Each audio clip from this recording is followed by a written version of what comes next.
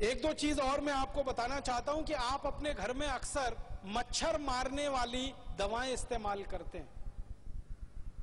अलग अलग नामों से बाज़ार में बिकती हैं। कोई जो है लिक्विड फॉर्म में आती है, आप उसको लगा देते हैं। कोई तो टिकिया के फॉर्म में आती है, आप उसको इस्तेमाल करते हैं। कोई तो कॉयल के फॉर्म में आती है, आप उसको इस्तेमाल करते हैं।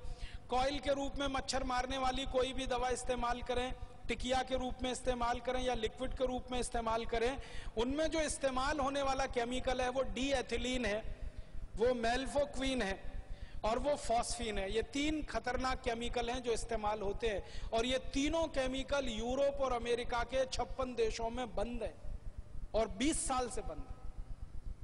हम हमारे घर में छोटे छोटे बच्चों के ऊपर वो लगा के छोड़ देते हैं।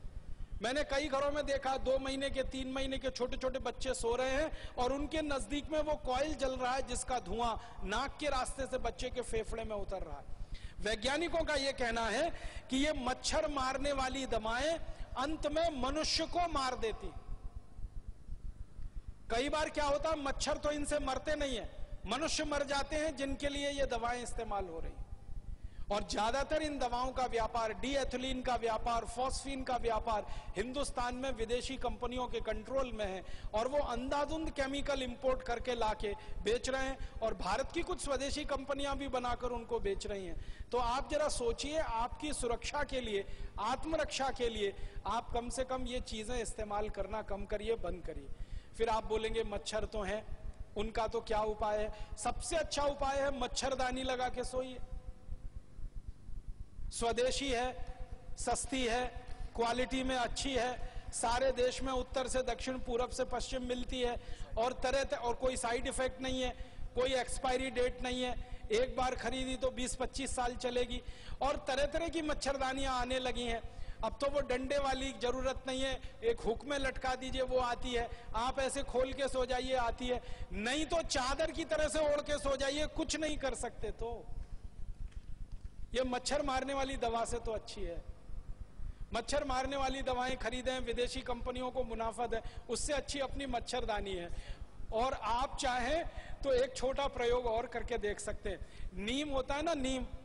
नीम का तेल बाज़ार में मिलता है। तो नीम का तेल ऐसे जलाएँ, दीपक के रूप में। एक दीपक ले लें, उसमें रुई की बाती बनाएँ, नीम का तेल जला के दीपक को रख दें। वो दीपक जितनी देर जलेगा एक भी मच्छर कमरे में नहीं आएगा।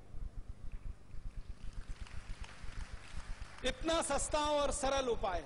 नीम का तेल बाज़ार में 30-40 रुपए लीटर मिलता है। एक लीटर तेल खरीदेंगे, बड़े आराम से तीन चार महीने चलता है। और दूसरा एक तरीका है गाय के गोबर से बनी हुई अगरबत्ती और गाय के गोबर से बनी हुई धूप बत्तियाँ भी बाज़ार में अब आ गई हैं। कई गौशालाएँ उनको बनाती हैं। उनको जलाकर आप सो जाइए, वो भी मच्छर को भगाती हैं और क्वालिटी में मच्छर अगरबत्ती से अच्छी अगर गाय के गोबर की अगरबत्ती धूप बत्ती जलाएँगे तो पैसा किसी गौशाला को मिलेगा और उससे गाय की रक्षा होगी और गाय की रक्षा के बाद अंततः देश की ही रक्षा होने वाली है।